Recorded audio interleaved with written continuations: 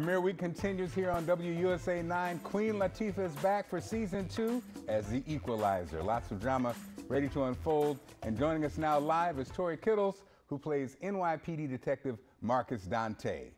What's up, Tory? How are you, Tory? Hi, Chris and hi, Mark. Thank you guys for having me. All right, Great. See Season one ended with quite the cliffhangers on the Equalizer. Where are we going to go on this journey on season two? Oh, yeah. Season one ended. Uh, Dante, Detective Dante, was at a crossroads. Him and the Equalizer started to get a little close. Mm-hmm. Chemistry was uh, really starting to heat up the two of them. So I think going into season two, we'll see a little bit more of that chemistry. Uh, the show gets a lot broader and bigger. Queen Latifah is definitely doing her thing, and so I think we got a lot to look forward to. It's going to be very exciting.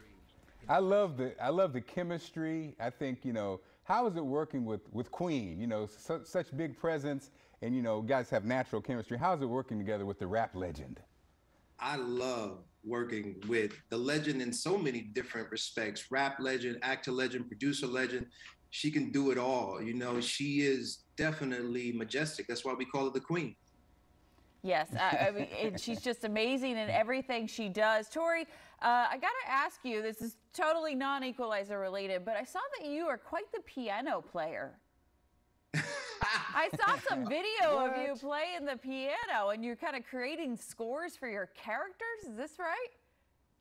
Uh, yeah, that's the cat's out the bag, I guess. Yeah, I, I, I like to create music for any character that I'm playing. Uh, I will not play for you the score I have in my head for Detective Dante, but yeah, it's just something that I love to do. It was something that my grandmother wanted me to do as a kid growing up. You know, she wanted me to learn how to play the piano, and, and so I took that very seriously, and I learned, and I love music.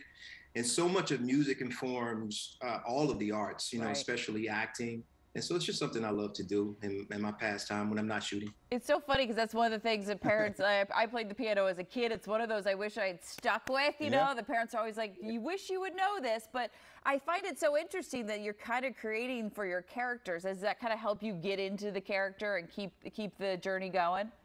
It does. It, it helps me. It helps me ground the character, and it helps me because uh, sometimes we shoot out of order, and so if I have like the music in my head about where this character is supposed to be, I can always relate to that. I can go back to that and sort of track where the character is in terms of the storyline and where the narrative is going.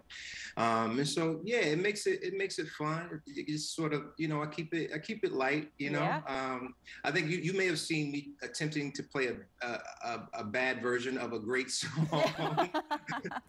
it sounded great to me, Tory. And so, so Tory, you guys are really, you, you know, it's, it's, it's unique the way you guys are doing it, but it is a reboot of a, a classic show. Uh, do you guys uh, pay attention to that, or do you just create your own your own equalizer? Uh, I, you know, I think the show stands on its own. I mean, the, you know, the, the first version with uh, it, Edward Woodward, it, that was a great version. And then Denzel went on to do the, the two movies, which mm-hmm. were great versions. Um, you know, this particular version, it, it's it's very different, not only because Queen Latifah is, is, leading the charge, you know, but we get more into her family life. Um, you know, the great relationship with her daughter and, and her aunt. Um, Aunt Vi, and, and, and, played by the amazing Lorraine Toussaint and, and Laya DeLeon Hayes, plays her daughter. Um, so we get more into the family life. She's juggling a lot this equalizer in a lot of ways that the other characters were not. So I think we stand alone in, in that way, in that respect. Okay. Lorraine Toussaint, big fan of hers, awesome. a big fan of you all on the yes. show. Congrats on Thank season you. two. We can't wait to see the drama unfold and see what happens between uh, Dante and the Equalizer. And you are awesome, by the way. I just wanted to say that before we let you go. Thank you so much. Thank you guys so much for having me. I really appreciate it. Definitely. Thanks, Tory. All right, season two of The Equalizer premieres this Sunday night at 8 p.m. right here on WUSA 9.